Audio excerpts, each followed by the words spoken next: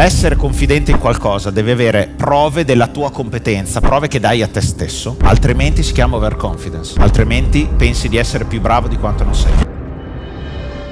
Non costruisci la fiducia in te stesso raccontandotela davanti allo specchio.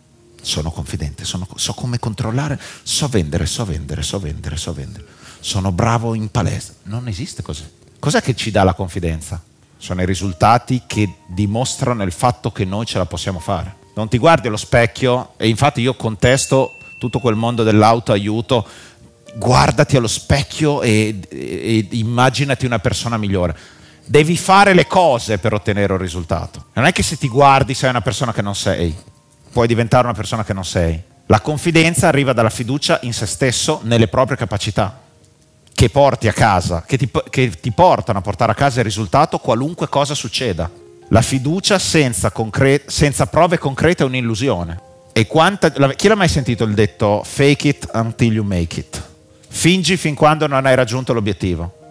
Voglio diventare, eh, voglio diventare, non so, Donald Trump come imprenditore. Fingiamo di essere Donald Trump, così se ci credo forte forte lo divento. No, se ne accorgono tutti. Chi non se ne accorge sono i monellini che comprano i corsi dai Fufoguru per essere confidente in qualcosa devi avere prove della tua competenza, prove che dai a te stesso, altrimenti si chiama overconfidence, Dunning-Kruger effect, altrimenti pensi di essere più bravo di quanto non sei. Quindi uno che mi dice che è un bravo investitore, un bravo trader, ecco, uno che mi dice che è un bravo trader, perfetto, da quanti anni è che batte il mercato? Beh, sei mesi. Sciocco. Ho battuto in modo consistente e costante il mercato negli ultimi dieci anni, so come ho fatto, so come potrei farlo di nuovo. Questa è una confidenza. Lo capite la differenza? La competenza e la confidenza si costruiscono un passo alla volta, facendo quello che c'è da fare e dandosi conferme positive che siamo in grado di farlo. E questo ci motiva tantissimo. E, e, infatti anche i tutor, magari uno ha fatto il primo passettino, ma loro lo celebrano il risultato. Vi è capitato di sentirvi come dire, lodati per un piccolo miglioramento che avete fatto? Eh, ma è per questo, perché è difficile all'inizio ed è giusto darsi un po' di carica, no? Come l'hanno data a me. Bravo Giorgio, sei andato per la prima volta in palestra, sei grande cazzo. Ci sono andato una volta. Eh, ma, è, ma uno è meglio di niente, sono passato da zero a uno. E dobbiamo celebrarlo, no? Poi mica finisce lì. Un passo per volta, ok? Ognuno di voi è forte in qualcosa, no? Eh, chi è che mi dice, un, non lo so, un hobby? Chitarra, oppure sport, tennis. Ok, quante ore hai dedicato alla pratica del tennis? Come trasferisco la confidenza specifica dall'ambito tennis all'ambito finanziario? Perché tu sei una persona che può diventare confidente in qualcosa, no?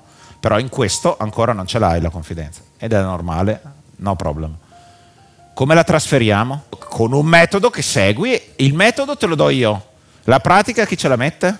Se togliamo, ecco, ecco il discorso che dicevamo prima, io ti posso dare il metodo e deve essere provato che ti porta lì e ho già portato altre 200 persone lì, ma tu devi fare il tuo, hai capito? È un po' quello che dicevamo prima. Se dedicassi lo stesso tempo che hai dedicato al tennis, alla gestione delle tue finanze, pensi di poter raggiungere lo stesso livello di confidenza? Ovvio, perfetto. Eh, ma io non ho tempo e voglia. Se è così, allora delega, ma non puoi non farlo. Rimane il discorso di prima, eh? o impari o ti affidi a qualcuno. Per imparare devi essere disposto a fare una valanga di errori però. E invece la gente non decide.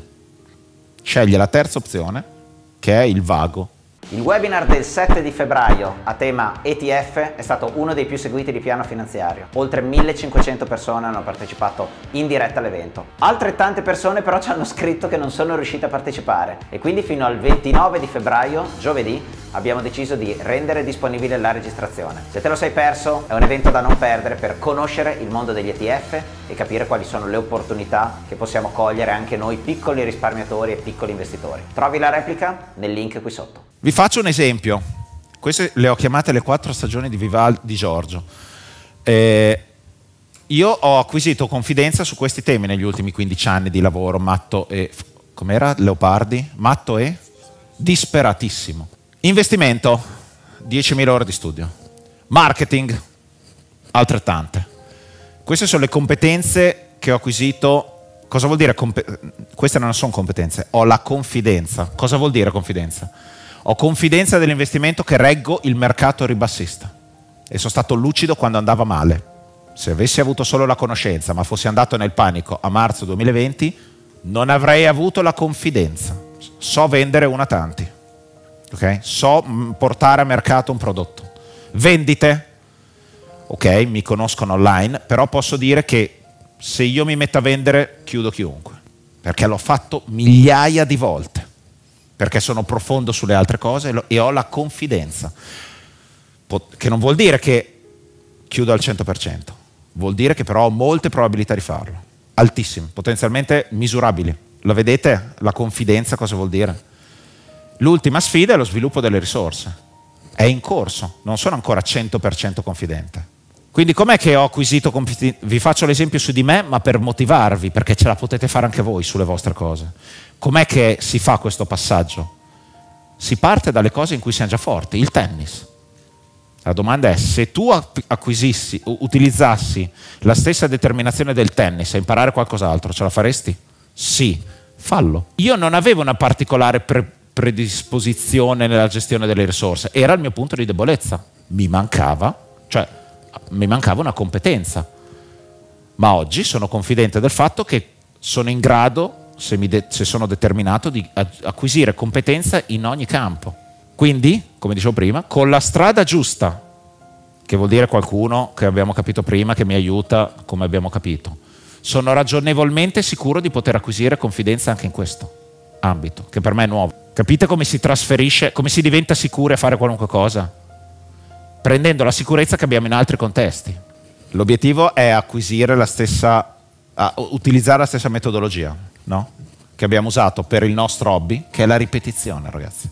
Le competenze crescono in modo esponenziale. Mi sono accorto che sono sempre più veloce ad acquisire confidenza.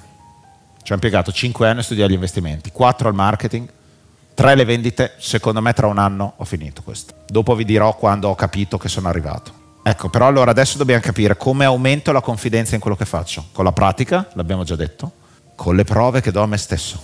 Prove che sono in grado di affrontare le difficoltà e superarle. Prove che anche se va male io sto lì. Ma come acquisisco queste prove? Con la ripetizione. Più volte lo fai, meno schifo farai. Sì, ma quante volte devo farlo? Tante da annoiarti. Quindi quante volte lo devo fare? Tanto da annoiarmi. Deve diventare un automatismo, un'abitudine. Eh, ho fatto il budget. Quando? L'ultima volta? Beh, sei mesi fa, no?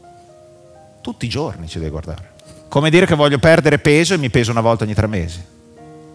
Tutti i giorni. I numeri dell'azienda li controllo tre volte al giorno. Lo controllo sempre. Come faccio ad avere il controllo? Eh, ma ci guardo. La confidenza ce l'ho perché vedo cosa ha fatto e il risultato che ottengo. Questa per me è la frase. Segnatevela, tatuatevela. La confidenza viene dal passato, non, dal, non viene dal presente. Cioè non è che io sono confidente perché sono nato confidente, sono confidente perché mi sono fatto un mazzo così sulle mie cose. Perché ho dimostrato a me stesso che ce la posso fare se mi applico in un determinato modo. È il risultato delle tue azioni passate, che nel caso del tennis ti hanno reso confidente nel tennis, nel caso della palestra uguale. È la ripetizione che dà la confidenza e non esistono scorciatoie, se no non avrai mai la, confiden- la, la confidenza e la sicurezza in te stesso. Vorreste che qualcuno ve l'inducesse la sicurezza in voi stessi? Magari, ma non si compra. No, Amazon non c'è ancora riuscita. Non è possibile, ve la, la, ve la generate voi, basa, ba, valutando le vostre azioni passate. Cosa vuol dire se non siete ancora al 100% confidenti? Significa che non hai ancora acquisito una, conf- una competenza sufficientemente profonda e testate molteplici scenari.